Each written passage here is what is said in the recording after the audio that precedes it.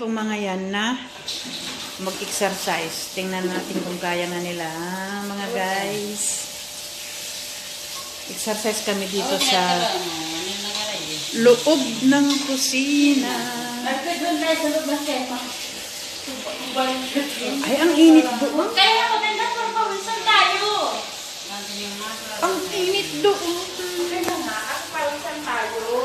Para pawisan. Eh, sayang, naman yung paligo natin. Basta na kayo mag-exercise.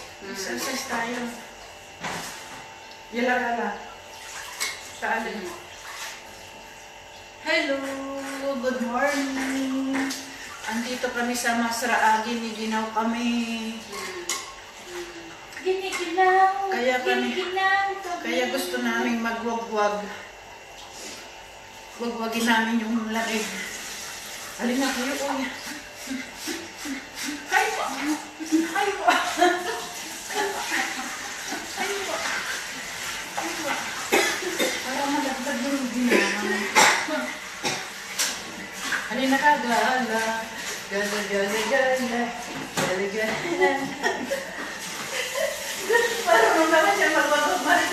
Ayaw ko, ayaw